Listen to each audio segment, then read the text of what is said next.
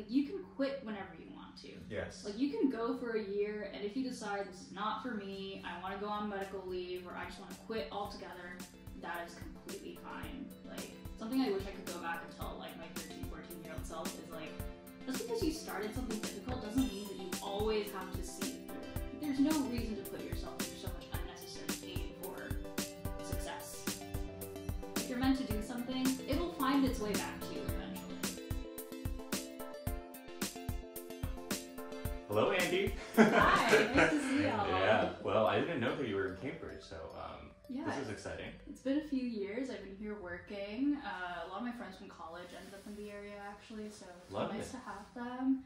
And yeah, thanks for having me on this podcast. Yeah. It's my first time on a podcast. Yeah, and this is also our first time recording this, uh, you know, on video as well. So um, say hi to all of our listeners. Um, yeah, so I mean, this is this is Thomas's setup. It's it's. I mean, I've, I've you know sung praises on you know Thomas's interior design skills. Uh, we you guys these guys only get to see this part of the room, but it's it's truly beautiful. Um, well, Andie, how long have you been in Cambridge for? Ooh, that's kind of a long-winded story. Uh, in total, I'd say about ten years. Uh, more recently, like three-ish years. Got it, got it. Yeah. Oh, it's so fun. Well, uh, we should also let the listeners know like how we know each other? Yeah, so Thomas Kihong and I all went to the same high school. Mhm. Um, I am in the grade below them, so I'm class of 2015. Um, so when I saw that they were doing a podcast and saw that they did an episode on boarding school, I Yeah. was like, I need to get in on that. Yeah. So here we are. Love it, love it. Well, thank you for coming on as a guest. Um, I'm actually kind of curious personally, like how you found out about our podcast. Pretty organically. Um, I was on Spotify looking for podcasts to listen to because Yeah. I only really listen to like one news podcast and that's about it. Mm-hmm. And then this came up, and I saw like the artist's name. I was like, hey, wait a minute, I know Yeah, those people. Yeah, Thomas and Kihong, yeah. Yeah, and so it was nice. I started listening to your first episode, and it was like just like meeting an old friend. It was very comforting and very nice. And Yeah, I was like, yeah, I would like to continue listening to these. yeah. I think that's what we sort of index on a lot, trying to make this conversational as and as friendly as possible. So yeah, yeah, yeah. Yeah. Oh, and also we're sharing a mic because our setup only has two microphones at the moment. Uh, we can scale up eventually, but yeah, Kihong and I will be trading off. Mm-hmm. Um, but yeah, I just wanted to echo that and say it's great to reconnect with high school friends. Um, and yeah, I love that we could just make this happen. And hopefully, it's just like a chill environment where you can share some of your thoughts. And yeah, thanks for listening too, because um, yeah, you know, we're we're just glad to be able to talk and have people engage and all of that. So. Um, interested to hear your perspective, yeah, because I think in our boarding school episode, some of our ep- other episodes, you know, we tried to note that we're just offering our own perspectives, and That's probably right, there are yeah. people who have like very different experiences than we do, Yeah. um, and so you know, definitely want to avoid saying that what we experienced is is the default or the norm or anything like that, and you know whether your experiences was similar or different or whatever, we just want to hear it, you know, totally Mhm. um, no preconceived notions. So Mhm. Mhm. yeah, looking Well forward. said, Thomas. Okay, so um, Andie, well, know, as Thomas said, I mean, the, the purpose of this episode is to bring your perspective into this. So, you know, for the most of this podcast, you know, we will just really want you to just tell us, you know, your perspective on these things. But um, with that said, let me start off with the first question: Is um, tell us a little bit about your life before high school, before Exeter. Um, so, where were you born? You know, what school did you go to? Like, you know, Thomas and I talked about this in our episode. Like, I went to a public school, and Thomas went to, you know, school in Japan. Like, we talk about the transition and stuff like that. So, please, you know, tell us a little bit. Yeah, if the listeners don't mind listening to this very long story uh, that I'm about to share. Uh, so I was born. They know what they sign up for. You know, they, they've listened to our episodes, so they hour long, you know, episodes at a time. Please, yeah, take it away. Uh, so I was born in Seoul, and when I was one, my parents moved to Boston because my mom was starting to get her master's at the conservatory, and my dad got like a visiting professor job at Harvard in the Asian Studies department. Oh wow. Um, their original plan was to be here for two years while my mom got her master's, but then my sister was born, and things just kind of snowballed from there. So I ended up living in Boston, like close to Cambridge, between the ages of like one to nine. So basically all my formative years. And during that time, I don't know how my parents found out about this school. I went to a private day school out in Weston, which I did not think about it in any sort of way at the time because I was like eight. Um, but looking back, I'm like, wow, okay, I went to school with people who would eventually send, like, whose parents would eventually send them to places like Exeter. And so I just want listeners to know what you're about to hear is not the average American, like, school experience, nor is it the average Korean school experience. So I did that from ages one to eight and then it was time for us to move back to Korea. So when we got back to Korea, my sister was sent to an international school similar to Thomas. Oh, wait, you went to I went. you went to Japanese school. No, no, I Um, went to international. International school. Okay, so similar to Thomas, my sister went to international school because she has a citizenship. Um, and my parents thought it would be a good idea to send me to a Korean Korean school. Oh, U.S. citizenship, your sister. Got it, got it. Because you need a U.S. citizenship to go to an international school in Korea, right? Yeah, Yeah. at least at the time. I think nowadays the rules have changed a little bit, but it's either you're a U.S. citizen or your parents are diplomats from other countries, um, or they're like foreign business owners working in Korea. Mm. Um, yeah, so I went to Korean school, and at the time I didn't speak a lot of Korean. Like I spoke it at home with my parents, but I remember not wanting to answer back to them in Korean. So obviously school was like that first year of school was pretty tough. It was a huge Mhm. transition going from like being in a classroom environment where I understood everyone, I was well liked by my peers, I was well liked by my teachers, and the classroom environment was very collaborative, even at that age, even though we were just learning how to write letters and count blocks. Um, but when I got to Korea, I started wearing a uniform, I had a name tag, I started getting referred to by a number instead of my name. Because in a lot of Korean school systems, um, you get a number assigned to you based on like your homeroom and like the alphabetical order of your name. Um, so that was pretty jarring. And on top of that, I, I don't think my classmates knew what to do with me. Like, here was this kid who clearly came from a foreign place, didn't speak a lot of Korean. I behaved very differently from everyone. I like came in with the idea that my teachers would be my friends, so I treated them as such, which was a big no-no at the time. I had some pretty strict teachers who were not fond of that. So, all in all, I didn't fall in line. And the thing about I don't want to make huge generalizations, but I, I think Kihong can attest to this. Especially in Korean society, if you don't fall in line with everyone else, it's very obvious, and people can tell Yeah, that you're an 100%. outlier. Yeah. Um, so that first year in Korea, I got pretty badly bullied. I like didn't make any friends. Mm. Um, but things gradually got better. Um, I started excelling in school. I made good friends, and I continued on until the eighth grade in Korea.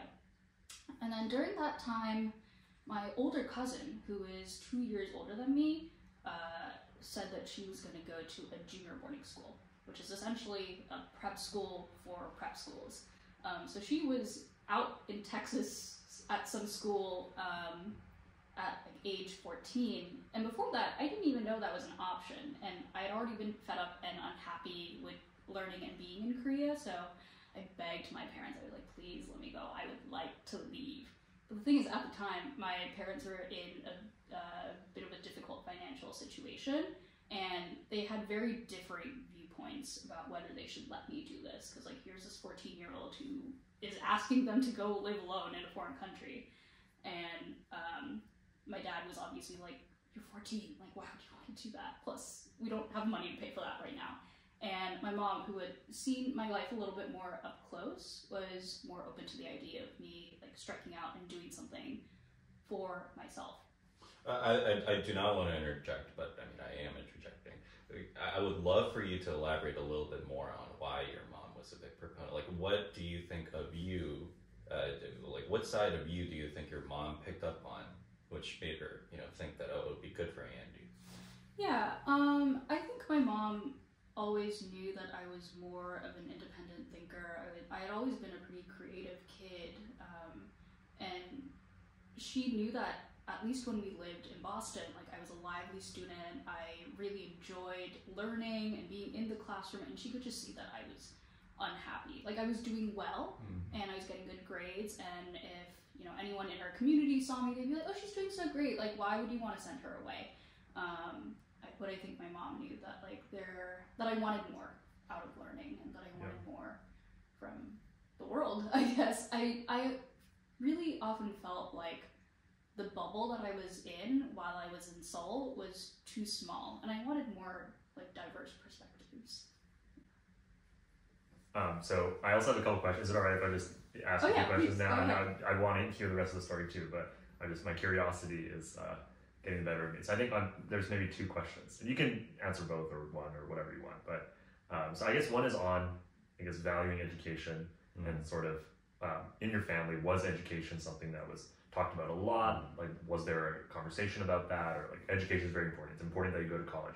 It's important that you get this this kind of big degree you know at every stage we want to prioritize you know education. Was that like an explicit conversation or just assumed or not that important? Like i'm just curious about the dynamics around that because i know that that varies a lot and sort of what the family views are Yeah. towards education. Not only are so different across families but can really then shape the choices that are made about your education. Mm-hmm. um, you know and as you mentioned there's also the factor of like you could really value, value education but the financial situation might not allow pursuing a certain type of education. Okay so that's one question. The other question is about language which i'm a language nerd so i just have to ask about this like you know you mentioned at first going back to korea and not having um, like the confidence in korean but then how did that change and you know what steps did you take to um, learn korean better and what was that transition like and yeah do you feel still like more comfortable in english or whatever it, I just have to ask because I'm a language nerd, so if you want to answer that, you can. But no, no, no worries if if you'd rather just stick to one of the two. Yeah, I'd be happy to answer both. Uh, to your first question, yeah, going to college, being well educated was never something that was questioned in my family. Uh, both of my parents uh, went to college, yeah, and like did post grad stuff as well. Um, so it was always known that I was probably going to go to college. Uh, and I think my dad had a bit more of a holistic view on education. He really valued like finding the thing that you're interested in and doing what you love. Whereas at the time, at least, my mom was more interested in doing, in me accomplishing things that would define me as more traditionally successful. Like, she wanted me to be at the top of my class at school. She wanted me to be able to do well on the Korean college entrance exam. She wanted me, and if I did that, like, she wanted me to be able to go to, like, the Harvard, Yale, Princeton of Korea. Um, so she was very big on that, and I would say, like, that was a lot of pressure. Um, and as for the language part, I honestly don't remember how I picked up Korean because I feel like when you're eight, nine, like your brain is still pretty squishy. Like as long as you're in the environment, you pick things up pretty quickly. Um, but my parents do have some funny stories about like the earlier days of me acclimating to Korean school. Um, apparently, there was a social science exam where one of the questions was, uh, "What is a Korean national treasure that is nearest to your home?" And I wrote a crosswalk because that was the latest word that I had learned that was more than two syllables. Oh, and then you put down crosswalk as the answer. Yeah. Um, Yeah. so yeah, there were times when I like would come home with a twenty out of hundred on a math exam because I just didn't understand the questions, and I would come home smiling because I at least didn't get a zero that time. But yeah, I'm. I don't have a lot of memories between me not being able to comprehend anything and then me suddenly comprehending everything and doing well in school. So Cool. sorry I couldn't provide more No, information there. Yeah. That's great. Yeah, thanks. Um, yeah. Um, I remember one of the questions in our agenda was like, how did you find out about going to school abroad? Yeah. Um, and for the junior boarding part, I knew because my cousin. And other than that, my mom and I kind of went in blind. We didn't know that the boarding school application process ran on like a different time cycle because the school year starts at a different time than in Korea. Um, and we didn't know that like you could go to these institutions where like these mentors and people you pay could help you apply to these places. Um, so we missed the cycle. We didn't know who to turn to. So I ended up going to whatever school in the Northeast was open and available for me at the time. I did not enjoy my And- time there. Oh, your first year. Mm-hmm. Oh, because you started um, Exeter as As a new lower. as a new lower. Yeah. New lower means second year. Yep, yep, yep. Oh, I didn't know that. Okay, okay. Yeah. So for eighth and ninth grade, I went to this small junior boarding school in Connecticut, and that essentially set me up to apply to places like Exeter. Um, I'd applied to, I think, 12 to 14 different boarding schools. Um, Man, yeah. And That's a lot. Yeah, it was a lot. It was a lot. Uh, I remember writing a lot of essays and my dad being very invested in the essay writing process. Um, but yeah, by the time acceptances rolled in, um, I could pick from a handful of pretty good schools that I liked. Um, but in the end, I chose Exeter because I liked that it had the Harkness system, the the round table system that Kihong and Thomas talked about. Uh, I mostly, you know, shat on it, but anyways, yeah. Yeah, well, at the time, I was wide eyed and bushy tailed. I was like, Yeah. oh, this is different and cool, and I don't know, I may have an individual uh, individuality complex, so I was like, I want to be different from other people.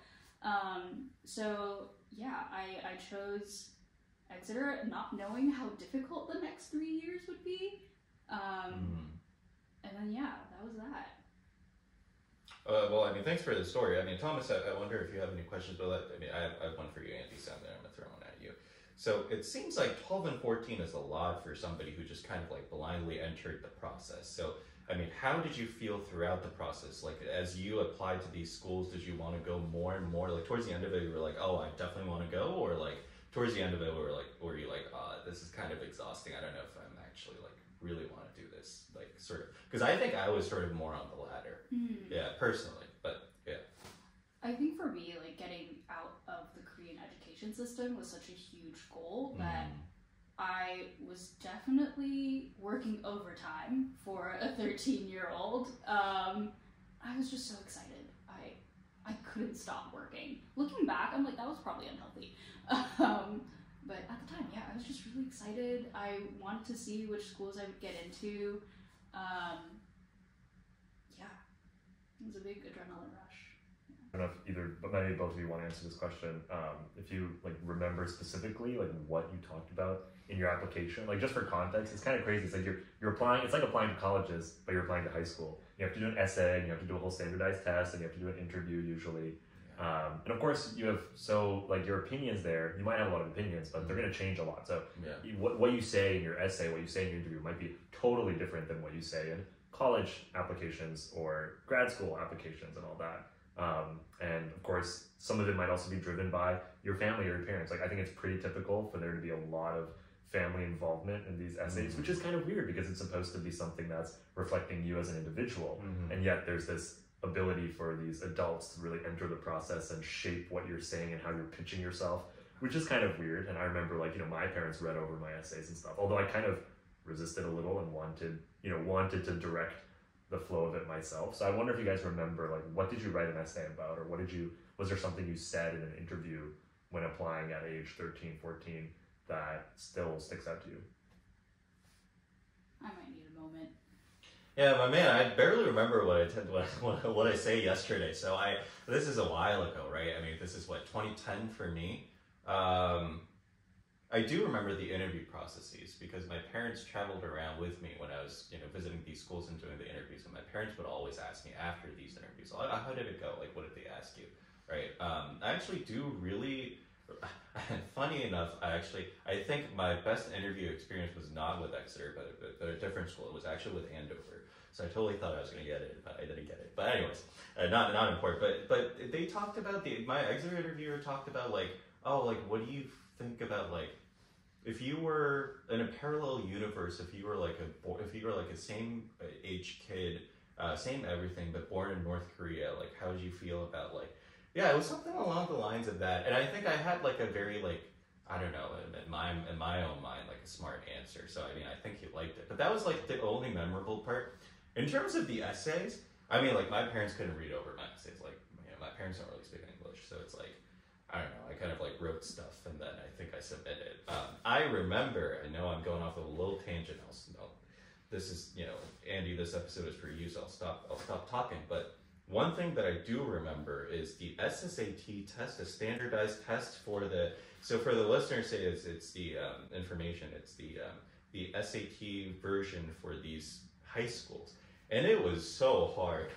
And I remember I was just like, man, I'm like, I'm like, I don't know, I'm a middle school student in Korea. Like, I'm not gonna learn these like crazy hard like verbal like these these archaic words that I've never even heard about. I'm like trying to like like learn English, you know. Um, so yeah, I just remember that as, as as one thing. But please, Andie. I totally forgot about that test until you Yeah. brought it up. But Yeah. yeah, that was a hellscape. Would not recommend to anyone. Yeah. Um, yeah, it was exactly like studying for the SATs, but when you're much younger. Mm-hmm. Um, I actually don't remember what I wrote in my essay. Um, I think it was, you know, some generic stuff like what leadership positions I had in middle school, Mm-hmm. uh, my hobbies, like what I enjoyed doing. I think for one of them, I like wrote about my relationship with my sister. Um, and yeah, there was a lot of uh, control on my parents' end there. There was some censorship going on, and I was like, you know what? You can't stop me from submitting what I want to submit. I'm gonna submit the things that I think best portray who I am. Um, and it is wild that your interviewer asked you what Yeah, it was such a wild question. That's why I remember it, right? That's why it's so memorable, and I still remember it, right? And my mom was like, "Oh, that's weird," and I was like, "Yeah, isn't that weird?" yeah, it was weird. Yeah. I mean, we can bleep this out, but do you mind me asking who your interviewer was, if you remember? Oh, I got no idea. Mm. It was like a very old. I, I think he's probably you know retired, and he's not actually like one of the faculty. And even at that point, the interviewers tend to be like not like the, the full time faculty that are on like at that time, right? They're mostly retired faculty now. I mean, I might be wrong. At least. At least for me, the interviewer was like an alumnus. It's not. I think Oh, usually like, really? they like recruit like alumni volunteers who like live Oh. near you. Uh, I mean, because they're not going to fly out like a uh, teacher to like interview you. Interesting. Oh. Mm. I don't know how it was for you. But you you? had an on campus No, no, I did it. No. You- Oh, you did yeah, it during no, a visit. I did it oh. during my visit. Oh, okay. yeah. No, I did it in Tokyo with like Ah. a Exeter alum who lived in Tokyo. Ah, that's different. Yeah. Yeah, but um, okay. I guess I guess yeah. This is probably a different situation. Yeah, interesting. Yeah. What about you? Oh, me. He asked a question. You got to answer. Okay, okay, yeah. Kihong's saying I gotta ask, uh, answer the question that I asked, but um, okay, I remember one essay at least. I think this was my Exeter essay, and I think it was about why I liked dark movies. Mm. Um, so like at that age, I think for like a thirteen-year-old, I probably had a pretty dark and disturbing taste in movies. My favorite movie at that age, still one of my favorites, is a movie called Seven, with Morgan Freeman and Brad Pitt um, and Kevin Oh, Spacey. what's in the box? What's in the box? In the box? Yeah. Exactly, Yeah, yeah, exactly. yeah. You guys know.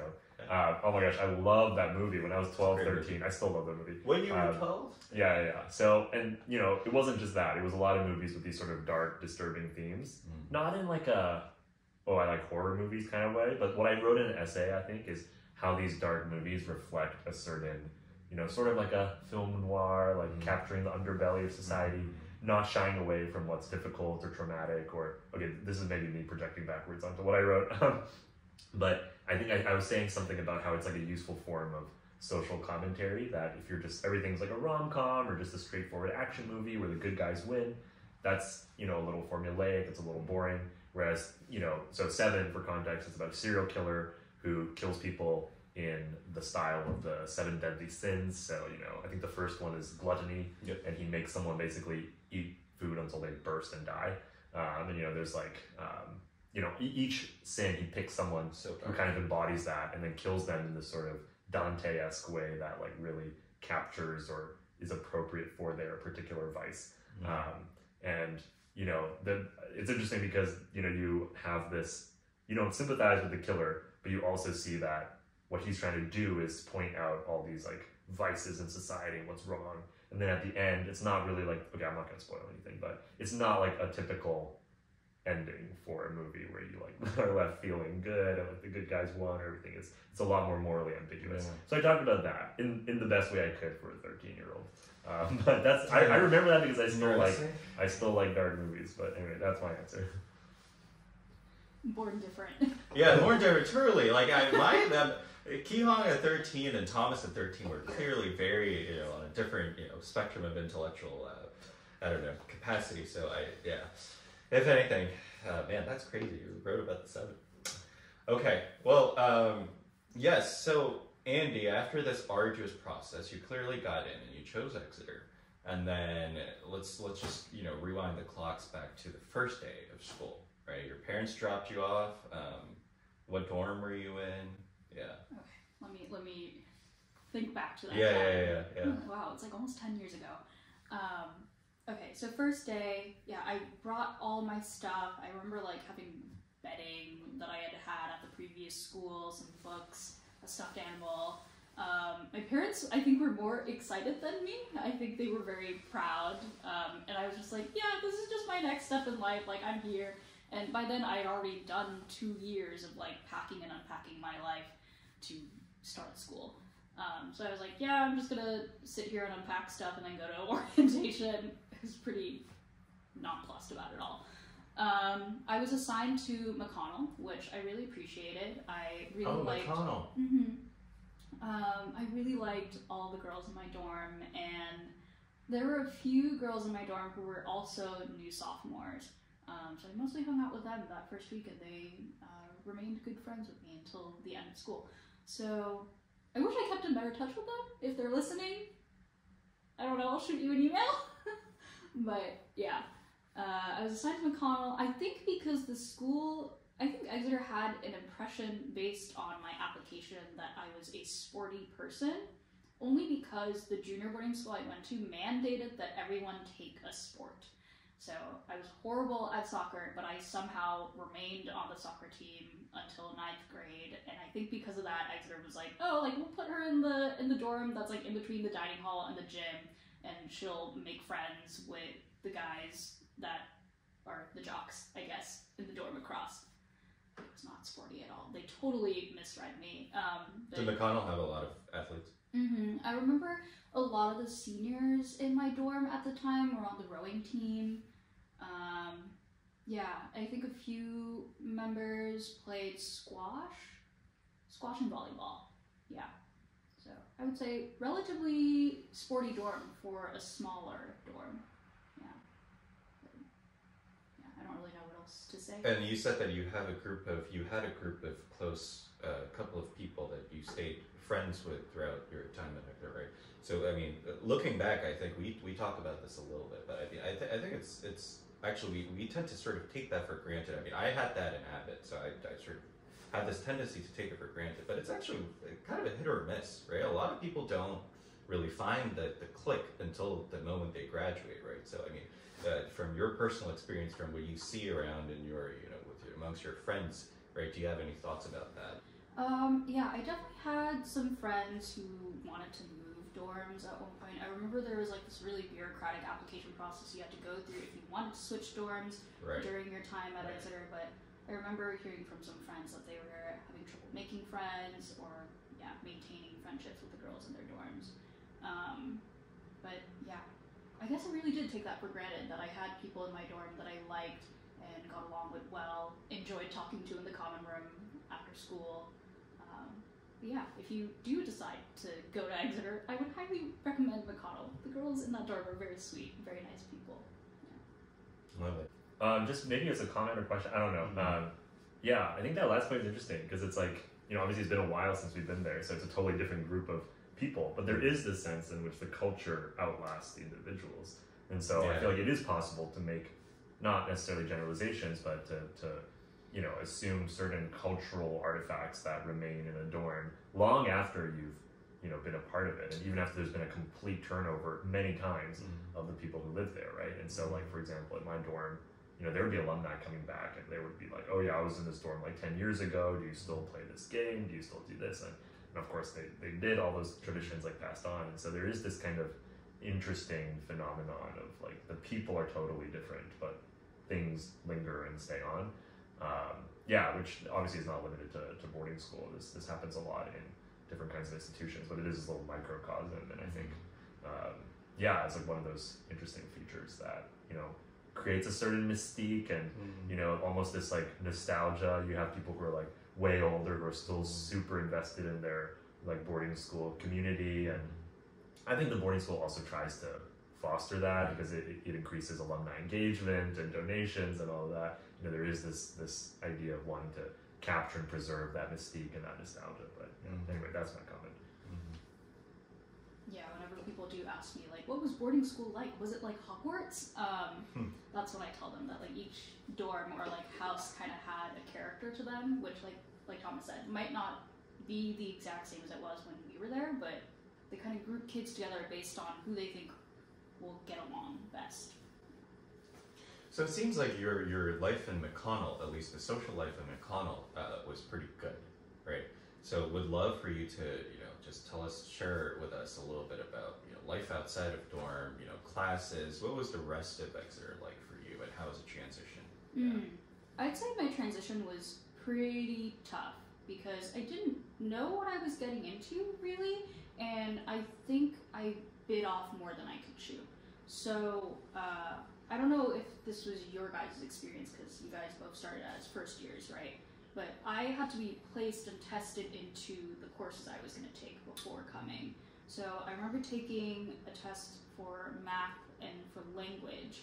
Um, and I had placed into sort of like intermediate accelerated courses for both.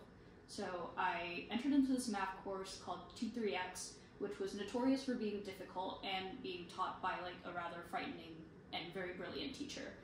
Um, Mr. Phone? yes, Oh, yes. Um, and I like heard that, and I was like, "Oh, how scary could this teacher be?" Um, I've survived teachers in Korea. Like, I totally got this in the bag. I did not. I did not have it in the bag. Um, yeah, he's just built different. You know, he's he's too scary. He's so scary. Yeah, yeah, yeah. Yeah.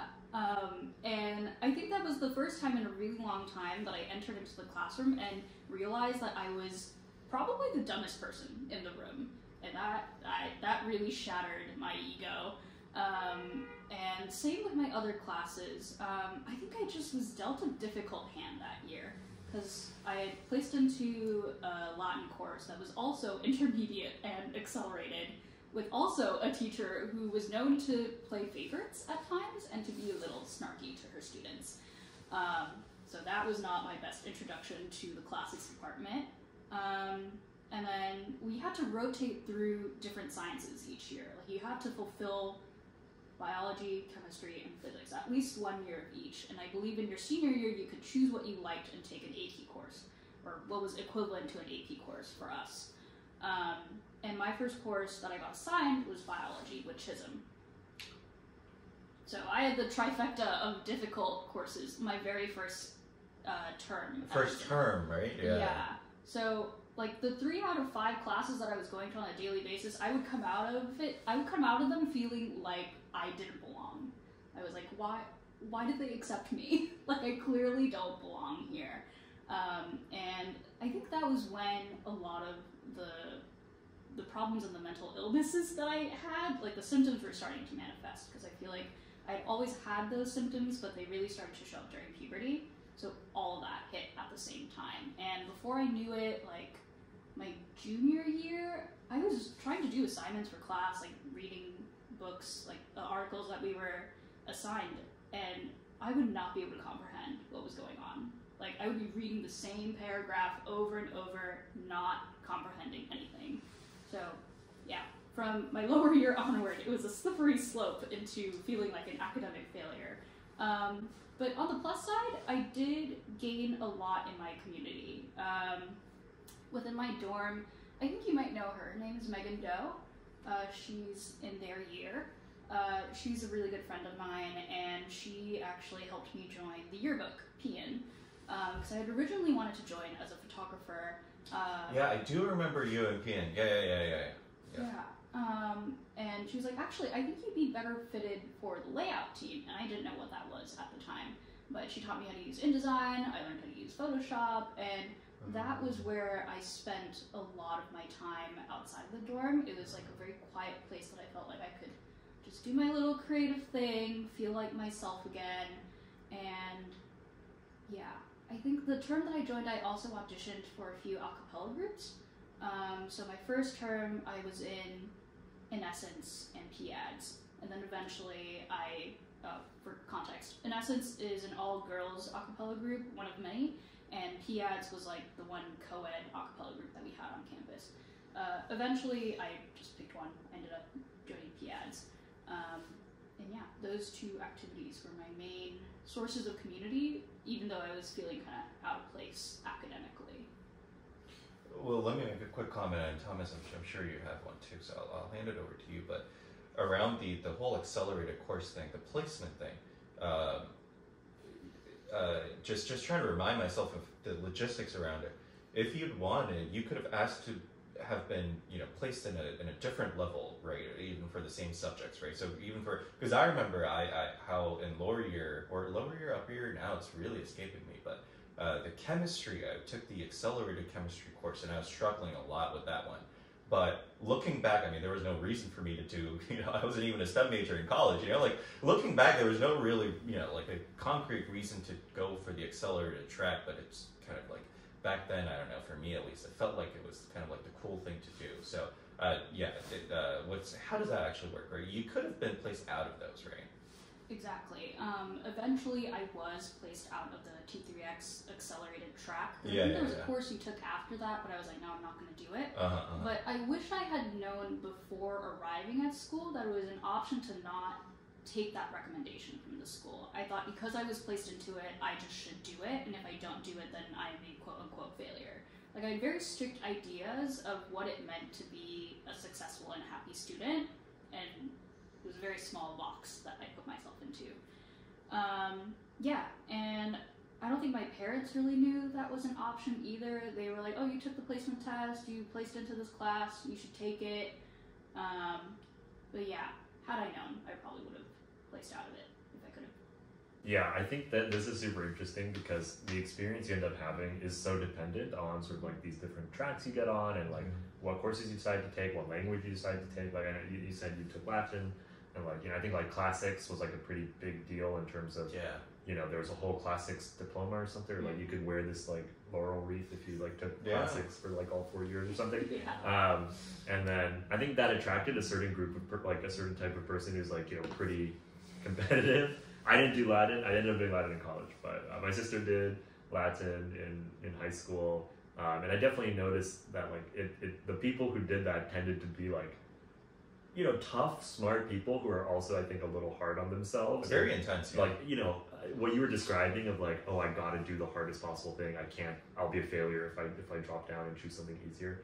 Like that that mentality I think is is is very prevalent in boarding school. And you know if you're if you take a certain type of class, you're even more likely to be in classes with that type of person, which can then be even more like not it's not anyone's fault, but this sort of group effect of everyone acting like that can be tough. You know, like in my case, I think I I, uh, I I took as my language I took Russian, which ended up becoming like a very like defining interest. And I went to it. I spent a summer in Russia and all this stuff. So I talked about it extensively in my college interview. So that ended up being a good choice. But it was not like an extremely hard class or anything. And it wasn't anything like what I heard from friends who were taking Latin or Greek, where they had so much homework and Yeah. super uber competitive, and the teachers were like grilling them, and it, it was not a, like a super strenuous experience in that sense. Uh, even though like as a language, it's like pretty hard. Um, yeah, and then like math also like I think like I did not start in T3X or any of these like accelerated math classes. So I sort of had like a more gentle ramp up of just like the first term math felt very like reasonable, like like even easy, and then I could kind of just like I, I ended up like skipping a level over the summer by like doing like independent work and stuff like that. So I could kind of start in with a more moderate level and then like work my way up instead of being like slammed in my very first term, you know.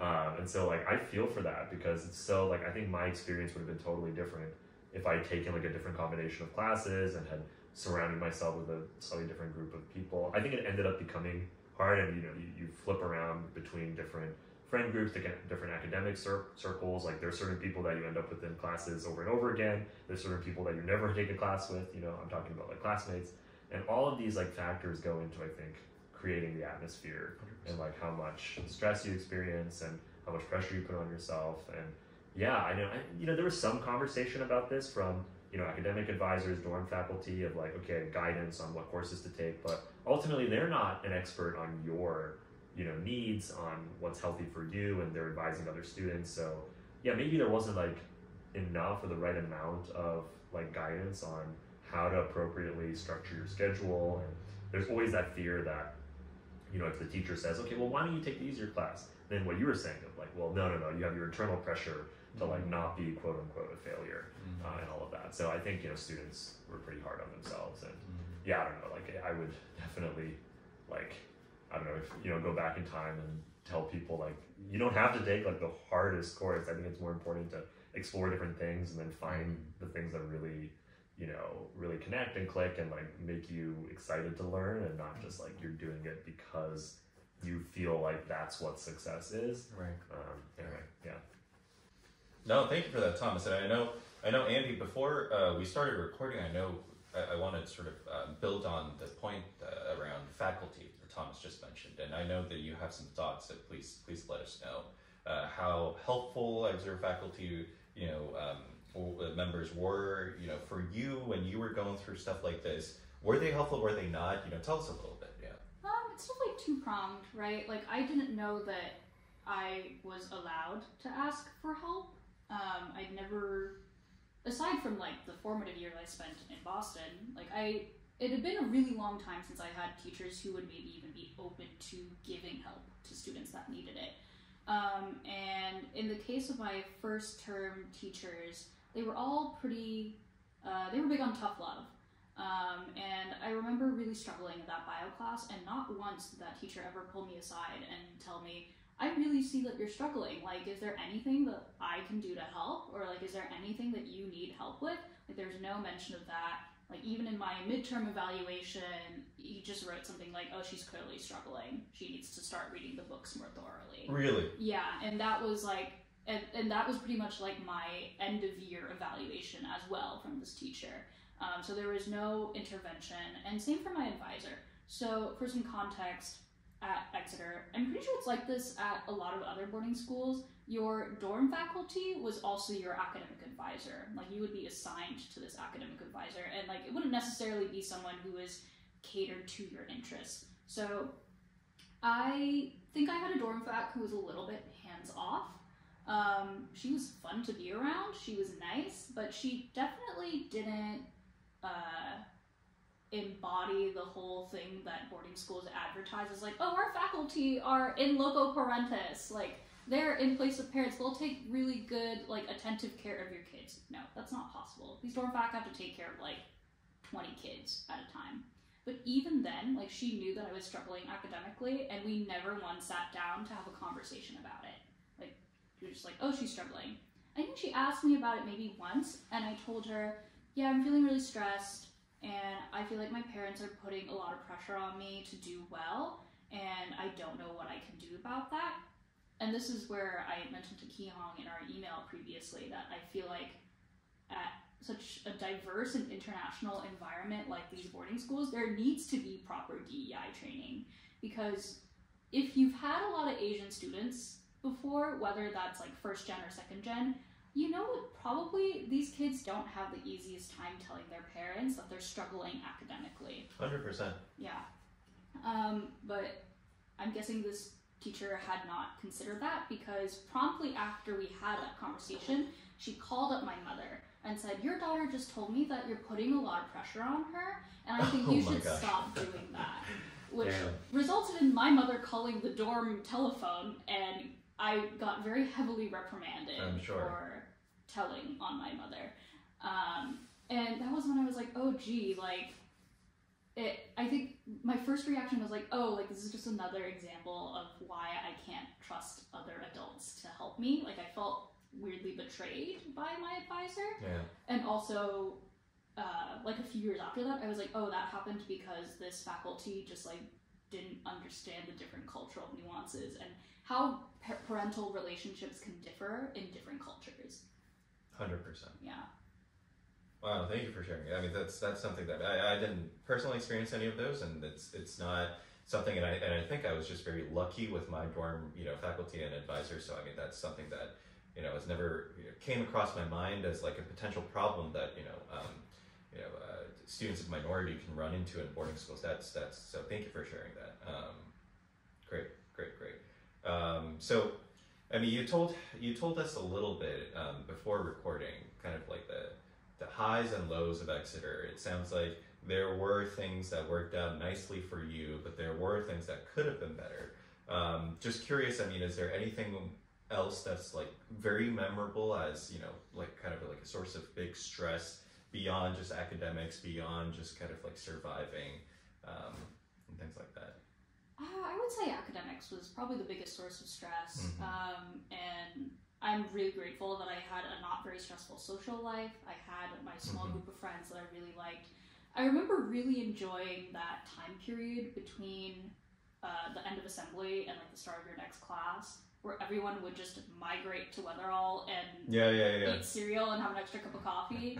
Like those were some of my favorite moments because even though we didn't have assigned tables, like everyone knew that like if you sat with your dorm, you always sat at the same table, and it just kind of felt like a little family snack.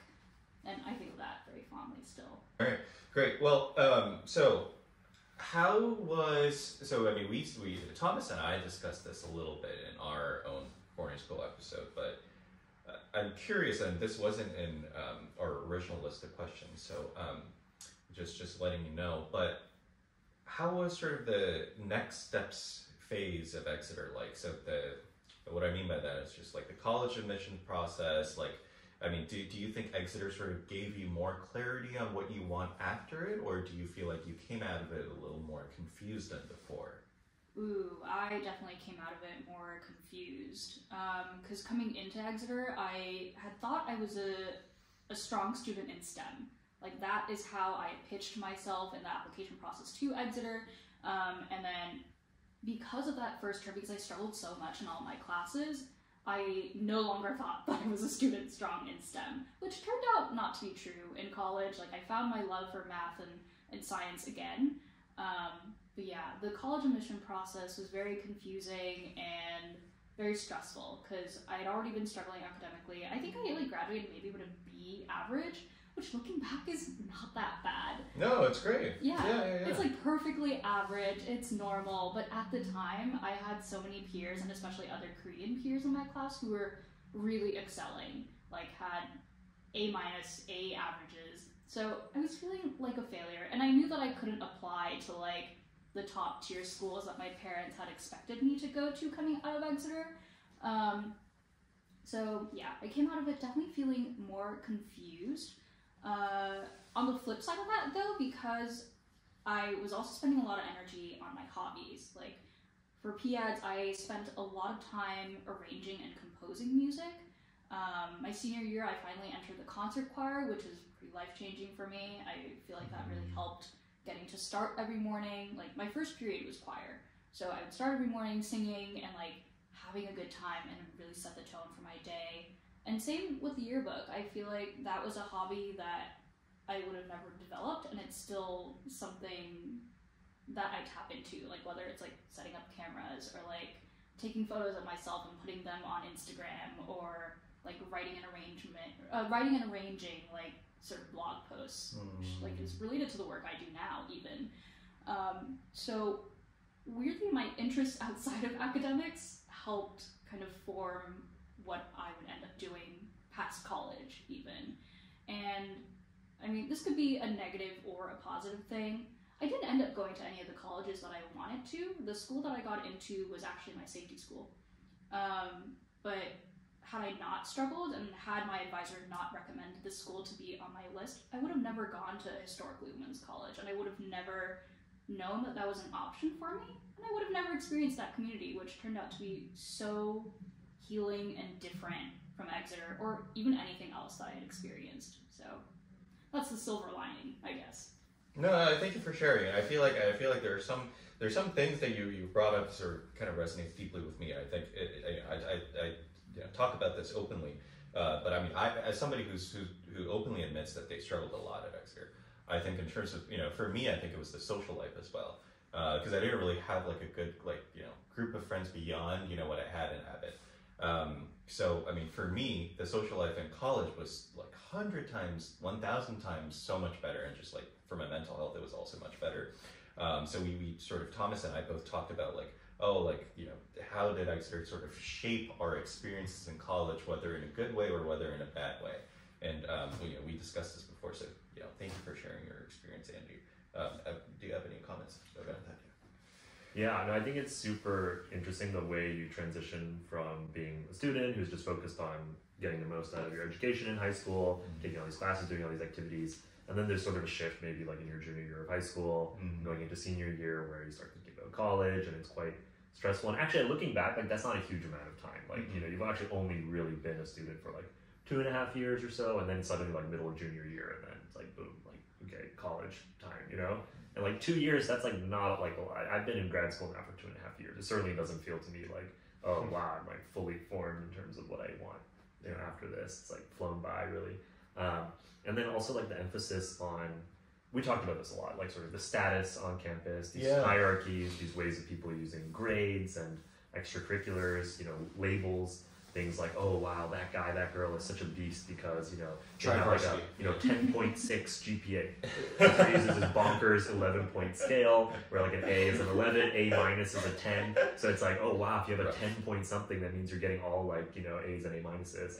Um, and like, and they're yeah, tri varsity athlete, and they're like a concert pianist, and they like you know did this crazy internship Yeah. over the summer. They do mock trial. And they do mock trial, newspaper. and then, yeah, yeah. So they do everything. They don't like you know they have complete mastery over all of their time, and you know somehow manage Can't to still relate. be like nice people, and you know whatever. Like eh, it's you know like there is this quantifying or labeling of someone as being like Harvard material or something, which could be kind of toxic, even though it wasn't this kind of cruel system intentionally of like you suck because your grades are bad. Like I didn't hear people say that, but I think it's uh, it's almost more of a pervasive but kind of implicit way of talking about things Very and yeah. hierarchical. Um, and yeah, what you mentioned about like finding these other hobbies and other things that you're spending so much time on, Mhm. like it's hard to work that into the system because sometimes the, all that effort doesn't feel like it's being rewarded or anything, and you want to be doing things that have like a payoff in terms of college acceptance. Mhm. Um, and you know, of course, you can find ways to talk about your hobbies and turn them into you know essays and Mhm. extracurriculars and all of that. Mhm. Um, and you know, lots of people got involved in clubs and Yeah. found hobbies and sports and all that in high school, which I think is good. Um, but yeah, that sort of competitiveness or way of thinking about things in a kind of one-dimensional way, I think it messed with my brain a lot. You know, just like the over, like overly focusing on grades, not enough on finding things that were important to you, not enough on like finding like a good fit, like a college where you can really thrive. Like, I mean, my thought process for like looking at colleges was like so looking back Yeah. so dumb. It was just like, okay, like apply to places that are like prestigious and you know have like a large endowment per student and have like world renowned, you know, programs and this or that. Even though I didn't really know what I wanted to do and you know I wasn't even asking the kinds of questions or like, well, will I be able to you know join like a club or a community where I'll feel welcome? Like kind of the things you were mentioning about um, the unexpected benefits of of finding a community and Yeah. in college um, that, that you weren't necessarily anticipating ahead of time. Um, and, you know, that should all be part of the college counseling experience. Of course, I don't fault like any individual. I think like a lot of it is distributed, right? It's like on the group as a whole, you know, so being so, um, you know, anxiety inducing about this. And of course, the college counselors are trying to make you happy and make your parents happy and make the administration happy because they want to have good rankings and good, you know, all of this stuff is Mhm. is happening. But um, yeah, just I think for everyone to take a breath and just slow down and try to actually identify what do you want out of this experience? Like, what Yeah. do you want out of going to college? You know, what are the things that truly make you feel not just happy, not just successful, but like like a thriving person who can integrate all these things together into a Yeah. life that's like well lived. All of that um, can be kind of tough. I don't think I had enough of those conversations. I think too many of my conversations were about like posturing and trying to like you know like subtly you know flex like you know um, you know my Yeah. my accomplishments or whatever. Uh, obviously not all of them, but um, there's a tendency Yeah. to, to lean too much into that, which I now kind of regret. I think so. Yeah. Yeah. I, I, I know. I, I had I had this tendency to sort of kind of like let the as the thoughts come to me, sort of say it in a, a bit of a haphazard manner. So I mean, uh, forgive me, Andie, but like one thing that just came across my mind is like I feel like the one common theme throughout all of this is that like so much of it is driven by luck, and because there was just so much pressure, whether it be I mean Thomas called it you know it's as as he explained it's like unspoken but very like impl- very pervasive yet implicit all that stuff. It's like, I, I don't know, from such a young age, I feel like what I really got out of this experience of, of boarding school was kind of like how to posture myself, exactly as Thomas said. And I love the word that he, he, he used there because it's like, I'm just so now good at just like putting a facade like in front of me in whatever situation that would just like kind of like hide and suppress all the anxiety and all of that. And I feel like even until very recently, I just didn't know how to sort of like embrace like the true self within me and just kind of like I don't know if this is a great word choice, but just like forgive that, right? And just by like letting it, you know, be seen, be shown to others. Because, you know, until you do that, it means that you're not very happy with your true self, right? I mean, I came to this realization very recently, right? Not, not even until, you know, college. I think even throughout college, I sort of suppressed all of it. But I don't know if you have thoughts around that, you know, because we talked a little bit about, you know, mental anxiety and all of that. Yeah. Hmm. Okay. How do I put this? I feel like even though I didn't know how to verbalize those thoughts, I'd always been someone who would go against the grain as a kid. It was obvious when I was in Korea. It was obvious when I was talking to my parents. Um, and I think experiencing these kinds of failures, failures, hardships for the first time at a place like Exeter really made me face like, okay, now that this huge thing of like being good at school is no longer something that I can attribute to myself, what what does it mean to be me? And I think I was thinking about a lot of those things at that age, and I think it's also contributed to the massive anxiety that I had because suddenly everything I knew about myself was no longer. Um, and to your point about like learning how to posture yourself in these environments, um, this is just a thought that I had more recently looking back. So, okay, at the risk of rambling and jumping across too many different things. So, when I lived here as a child, I had this very idyllic memory of the United States being this like happy place where like I could learn and like be embraced by other people so easily. But when I started experiencing failure at Exeter and like seeing how teachers and other people reacted to me based on that, I realized that I only had the privileges of being accepted because I was traditionally successful as a child.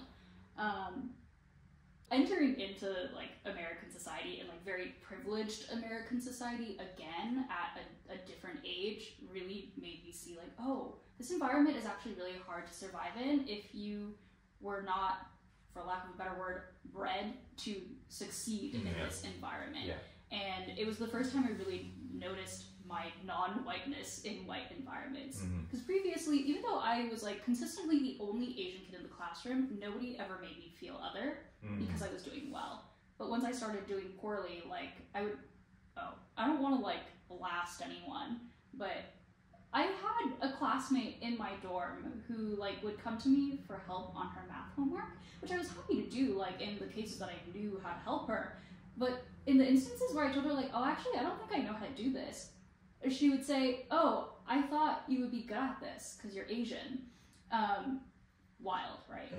Um, but yeah, so Exeter was really the first time that I realized, oh, I was not born and bred and prepared for this. Yeah. And to your point about seeing other students who seemingly very easily succeed at everything, like they're a tri-varsity athlete, they have a 10.6 GPA, they have loads of friends, they're kind, they're well liked, they're like student class president or whatever. The commonality between a lot of these students is that they either had parents who also went to Exeter or places like Exeter, or they had parents who were academically well-rounded or like very emotionally supportive who knew like what could come if they sent their child to a place like Exeter. Um, I had classmates who would come back to the dorms after class, like feeling sad about their physics grade because they got a C on their exam or something, and one of them would come back and tell me like, "Oh yeah, I talked to my dad about it. Like he also went here, and so when I told him I got a C and was really sad." He said it was okay as long as I tried my best, and he knows how hard that class is with that particular teacher. And I was like, wow, a wildly different experience from mine. Um, which I think, yeah, might nicely segue into like what we might want parents to know when they decide to send their child to institutions Please. like boarding school. Um, so, like I previously mentioned, my mom and I went into this process really blindly.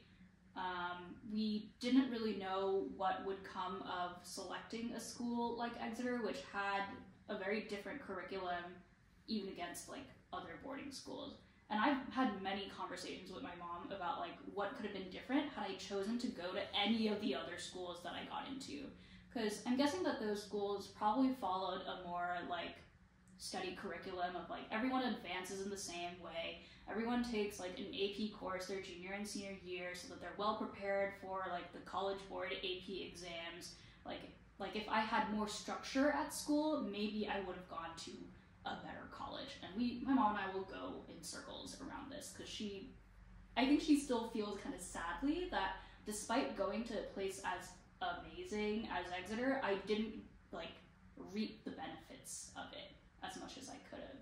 Um, to that, I've been telling her, well, you and dad didn't really know what this society was like. Even though they were living and working here for almost 10 years, they never fully integrated into the society within Cambridge because they were only hanging out with other Asian academics, other Asian performers, other immigrants. So they never learned like what it's like to try to survive in a very privileged white environment. Um, so that kind of sums up what I would like to say about international parents who are looking to send their kids abroad.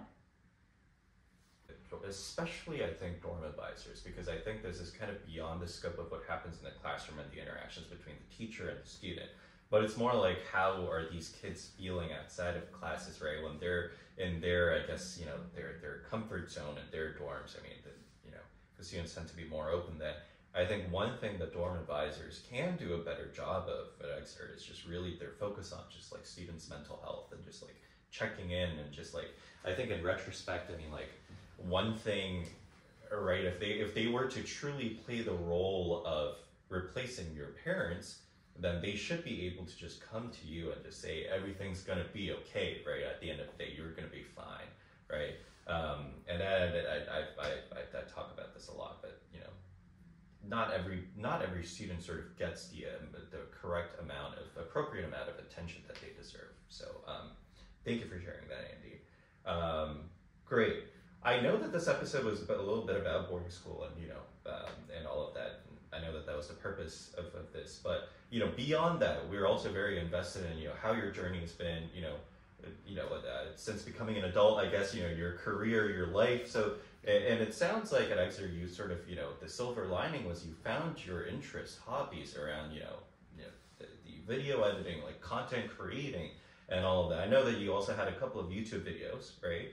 Um, and, and you made in college, is that correct? Andie? Yeah. Yeah, yeah. So, so tell us a little bit about that, right? How's your journey been? You know, uh, what what excites you about 2024 and all of that? Oh yeah. So even after boarding school, it was kind of a long-winded process to find like a job that I like and a job that I feel like best utilizes my skills. Because even when I got to college, I couldn't escape the the rat race of like I gotta do what's like traditionally successful. yeah, yeah. I like majored in chemistry because I thought I was gonna do pre med because again I was like kind of pressured into it, and then I ended up not even ever using my chemistry degree. Um, and then I went to business school because I was like I don't know what I'm doing with my life. So I did like a one year program where they taught me like basic accounting, like basic finances, operations, stuff like that. And I was like, oh, that's cool. And then I got in touch with Megan again, uh, who uh, was working at an edutech startup. Um, she was like, "Hey, I, there's a job opening here. I know you're like a decent writer. Do you want to send me some samples?" So I started working there. So that was my entry into creating learning content, for lack of a better way to put it. And then that kind of led me into technical writing, which is essentially just uh, taking STEM material and turning it into non-STEM language so that people who don't have a background in science or technology or software can understand, you know, what they're using and why they're using it. Um, so yeah, looking back, the hobbies that I partook in at Exeter really laid the foundations for the things I enjoy doing now. Mm. And things I'm looking forward to in 2024, uh, some work projects. I don't know if I'm allowed. I, I think I should be allowed to say this. Um, I've been assigned like to do some research on SEO. I've never done that before. Oh wow. Um, so I'm excited to learn how to do that. Yeah, heck yes. Um, and yeah, my friend and I have been like brainstorming together to throw a cocktail party. So now I'm like getting to, uh, you know, use my InDesign skills again and like make a little menu. Um. So those are the things I'm excited for this year. I love it. I love it. Uh, this was our last question of our our own boarding school episode. But if you were to have kids, and or just recommend it to you know, yeah, kid, your friends around that has you know um, kids that are about to go to school, high school, would you recommend boarding school or would you not? Tough question. Yeah, I get asked this question pretty often, and every time my answer is it depends on your kid. Yes. Yeah, it depends on your kid. Yeah. And I would say give them the option. Like, if you have the means and like the background to send your child to an institution like a prep school, um, and you know they're academically gifted and they like school, I would present the idea to them around like age 11, 12. Like, hey, this is something that exists. And if they want to, sure. But I would also give them like a heavy, heavy like precursor to like this is what you're getting into. I just need Yeah, you yeah, to know yeah, that. yeah. But sure, if they want to. Mm. Is that is that in line with Oh. what we what we discussed? What, what did we say? I, I said I don't think I'm gonna send mine, but yeah. I think I said something similar to Andie said. Yeah. That definitely like I'm not. I don't remember fully, so I Yeah. might be Yeah. caught with Yeah. saying something different. I don't know, but that, that I agree with what you just said. I think it aligns with what we were talking about in our previous Yeah. episode about parenting, which you know we talked about how it's so important to recognize the individuality Yeah. of your kid. Like that is a person. Like you can't just project all of your expectations onto them. Right. You can't live vicariously through them. You know, like as you mentioned, a lot of kids at boarding school have parents that went to boarding school. You know, it's not just an opportunity for you to like send your kid there and relive your youth and you know have them follow in your footsteps and all of that. Like, Mhm. sure, that might make you feel nice, but as you said, it depends on the kid. Like Yeah. that person, that kid is a person. That kid is an individual who has their own personality, who has their own academic interests, who has their own Right. hopes and dreams.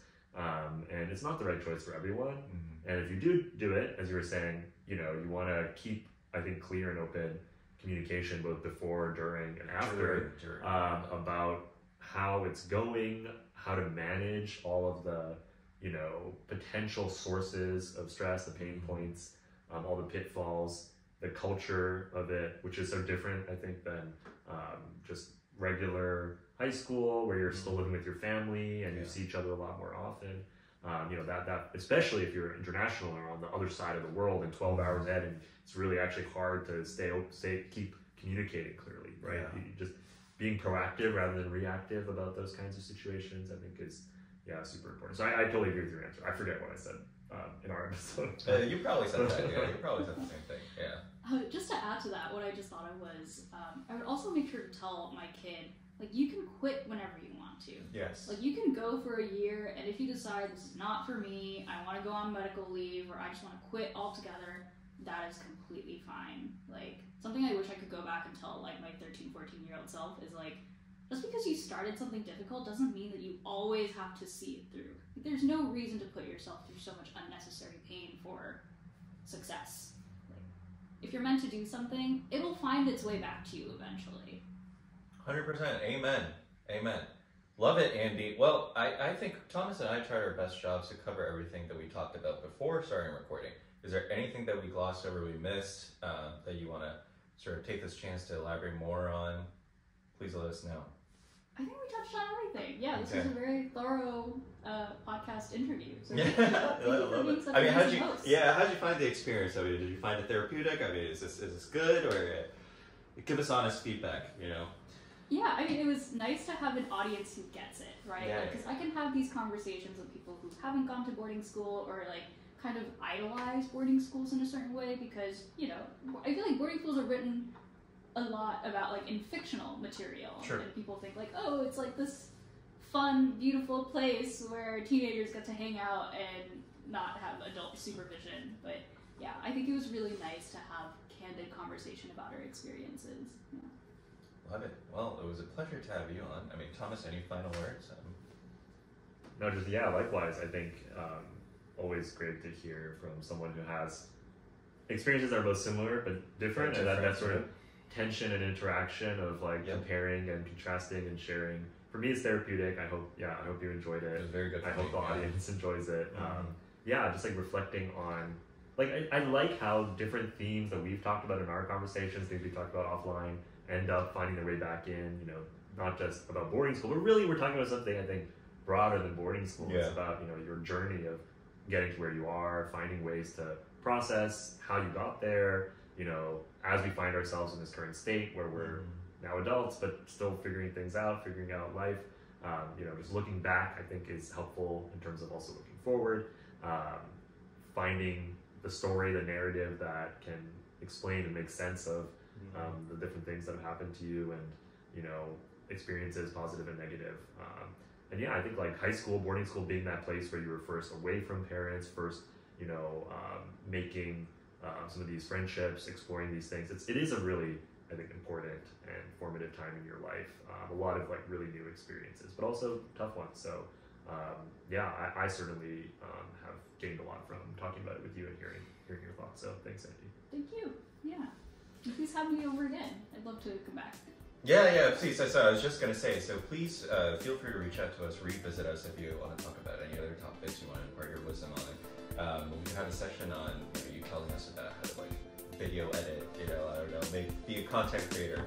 Uh, but anyways, um, uh, thank you again, Andie, for coming on as a guest. And uh, for the listeners, we will come back next week with a new topic. Actually, I think I will be gone starting next week for a little bit. I heard that you have a surprise guest Surprise guest. surprise guest, right? So, um, yeah, so uh, stay tuned, everyone, and we'll see you next week. Bye.